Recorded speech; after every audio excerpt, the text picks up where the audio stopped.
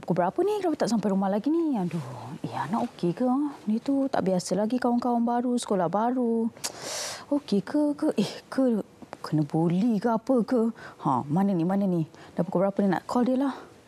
Assalamualaikum. Eh, Awaknya kenapa muka? Eh, lambatnya. Sampai Kenapa rumah. muka berkerut-kerut sangat tu? Lambat sangat sampai rumah ni. Kenapa anak okey ke? Eh, kena baru, ke? Tak ada, saya baru hantar Ryan tadi pergi sekolah. Kenapa awak paranoid sangat ni? Iyalah, dia tu Ha. kan tak biasa nak pergi sendiri, Ya. nak uruskan diri tu risaulah okey ke tak okey ke, makan ni macam mana, bekal dia bawa tak tadi? Saya dah bagi dah bekal. Kenapa awak paranoid sangat ni? Yang awak tahu kat kat sekolah tu ada cikgu yang jaga dia, kebajikan. Tanggungjawab cikgu dekat sekolah tu. Kenapa awak tak risau sangat ni? Eh, tapi kita tak boleh lepas tangan macam tu je. Kita kena ambil tahu juga anak kita okey ke tak.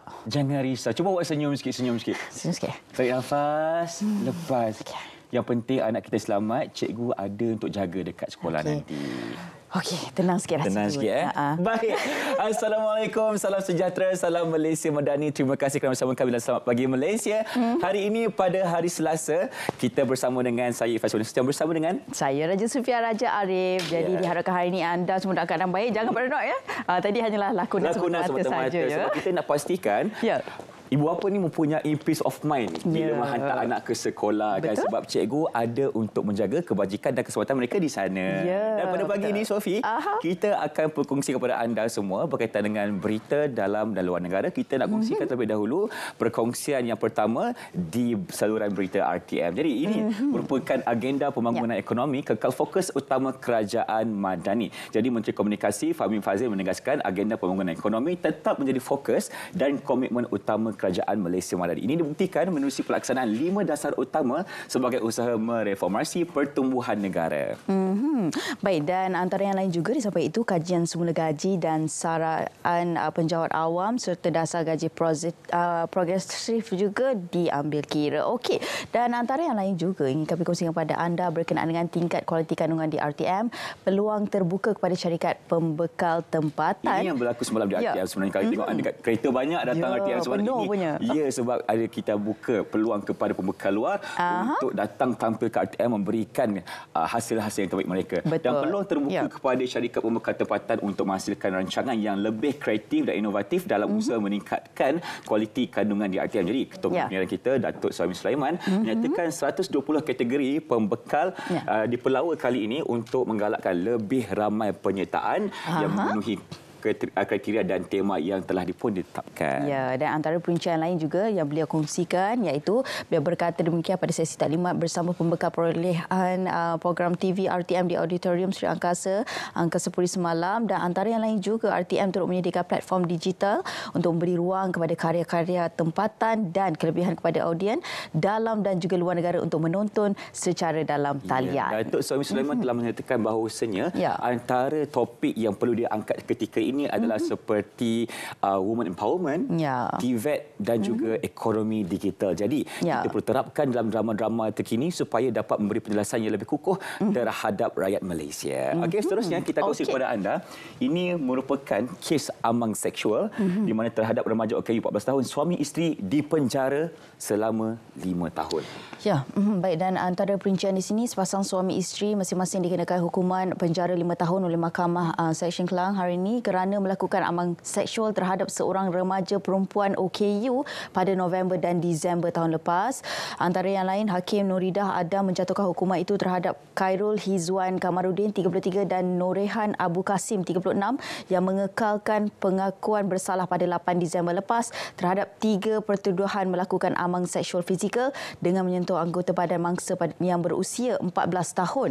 Pasangan terbabit juga dihukum penjara 2 tahun bagi pertuduhan amang seksual bukan fizikal kerana menyebabkan mangsa memerhati perbuatan kedua-dua tertuduh yang bersifat seksual dan selain daripada itu uh, Khairul Hizwan juga dihukum penjara setahun kerana menyimpan video lucah. Jadi uh, kepada masyarakat luar sana jika Ya. anda mempunyai maklumat berkaitan dengan kes uh, jenayah yang telah berlaku kepada uh, anak-anak kita di luar sana jangan lupa untuk melaporkan kepada Hmm. Ya. pihak yang berautoriti dengan kadar yang Betul. Hmm. segera supaya masalah ini dapat diselesaikan secepat mungkin. Baik, uh, seterusnya antara perkongsian berikut yang kami bawakan kepada anda uh, Perdana Menteri kita Datuk Seri Anwar Ibrahim telah mengucapkan selamat menyambut Hari Ponggal. Hmm. Ya. Uh, harap masyarakat Tamil raikan dengan kegembiraan dan menurut beliau juga perayaan yang diraikan empat hari itu adalah perayaan budaya bagi menzahirkan rasa syukur syukur selain persiapan untuk lembaran baharu dan mm-hmm. kita berharap masyarakat Tamil di Malaysia meraihkannya dengan kegembiraan dan juga penuh dengan kebahagiaan. Ya, dengan kata ada macam-macam makanan yang disediakan Irfan. Eh? Oh, silap saya hari itu kita ada bawa ke tetamu yang cukup istimewa. Ya. Uh, kita kongsi kepada anda betapa uh,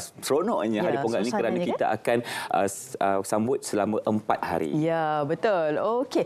Dan antara yang lain juga kami akan kongsi kepada anda selepas ya, ini. Pada pukul ya. 1 pagi semalam, mm-hmm. uh, Harimau Melaya telah pun ya. beraksi di pentas Piala Asia 2023 di Qatar. Mm-hmm. Uh, kita telah pun menentang Jordan dan untuk itu kita akan bawa kepada anda seorang tetamu untuk kita berikan perincian tentang persembahan dan aksi Harimau Melaya bersama dengan Encik mm-hmm. Sofian. Assalamualaikum, ya. selamat pagi. Ah, selamat pagi. Waalaikumsalam warahmatullahi wabarakatuh. Baik. Jadi semalam Encik Sofian tak tidur kan? Tengok uh, aksi Harimau Melaya semalam. Uh, tidur, tidur. Tapi tidur lambat lah. Okey, baik. Okay. Kalau kita boleh kongsikan semalam selepas uh, 18 minit pertama, uh, telah yeah. uh, bolosnya, tak silap saya, dua gol pada permulaan. Jadi uh, mungkin boleh kongsikan bagaimana uh, permainan, corak permainan Harimau Melaya pada uh, permainan cukup pertama. Ah, ya, okey. Lebih dahulu kita jika kita lihat uh, ini adalah perlawanan pentas antarabangsa bagi saya dan berbeza dengan apa yang telah kita uh, lihat sebelum ini mungkin kita ada perlawanan persahabatan yang berbeza antarabangsa tetapi uh, ini adalah Piala Asia uh, di mana Malaysia saya rasa ayat terakhir telah beraksi pada tahun 2007 mm-hmm. dan ketika itu saya rasa uh, kita hanya dapat tiket selaku tuan rumah so level permainan pada malam tadi adalah sangat pantas dan juga bertempo tinggi Alright, so mana kedua-dua dan juga ini adalah perlawanan pertama di perlawanan pertama ni pastinya kedua-dua pasukan ni akan mencari masa yang semaksimum yang mungkin. Hmm. Okey. So kita dapat kita dapat lihat eh, perbezaan pasukan Jordan yang bagi saya lebih berpengalaman dan lebih tersusun mengatur langkah di mananya dari segi posisi masing-masing telah lebih menjaga disiplin posisi masing-masing. So kami kita dapat lihatlah penguasaan kawalan bola yang kita sangat uh, apa berbeza hmm. right uh, penguasaan bola pasukan Jordan yang lebih uh, saya lebih teratur dan juga posisi saya rasa disiplin uh, terutama pada apa pemain pertahanan Malaysia sangat yeah. agak agak agak lambat untuk settle down hmm. okey uh, so Uh, di mana kita tengok kita punya rangkaian serangan kita telah dikawal ketat saya rasa mungkin telah dikenal pasti daripada awal yeah. Mhm. so cuma dari segi kita pasukan negara uh, agak berbeza kita gagal untuk mengawal pemain utama Jordan terutama sekali yang pemain Mahmud Al-Mati mm-hmm. saya rasa uh, itu yang menjadi uh, titik uh, perbezaan lah Okey, uh, Cik Sufian, kalau dari ya. segi taktikalnya, mm-hmm. adakah uh, jurulatih uh, keputusan Kio Panggon uh, telah memberikan satu corak permainan yang baik ataupun taktikal itu perlu diubah untuk perlawanan yang seterusnya? Uh, ya, peringkat awalnya saya rasa taktikal itu uh, mungkin uh, Kio Panggon uh, memilih corak uh, permainan terbuka. Mana kita memang terbuka untuk mengatur serangan, kita fokus untuk mencari gol, uh, gol awal hmm sebab kita pemain-pemain kita saya rasa lebih terkenal dengan uh, tiga serangkai itu Faizal Halim, yeah. Darren Lock dan juga uh, Arif uh, Aiman. Mm-hmm. Okay, saya rasa itulah uh, perbezaannya kot. Saya rasa. Ya. Ya dan uh, walau bagaimanapun uh, kita melihat sebenarnya usaha daripada uh, tim Malaysia ataupun Harimau Melaya sendiri kan bagaimana mereka cuba uh, ialah bekerja keras mm-hmm. untuk memastikan mendapat jaringan gol tetapi mungkin ada ada um, kata-kata semangatlah kepada tim Harimau Melaya sendiri. Yes, ya. uh, ini yang kita seharusnya uh, perlu ada semangat Harimau Melaya perlu ada. Bahawa uh, kita yang menanti kita Bahrain. Bahrain juga telah tewas pada perlawanan pertama uh, dengan Korea Selatan. Betul. So kita akan pergi dengan uh, satu hi, uh, misi hidup dan mati.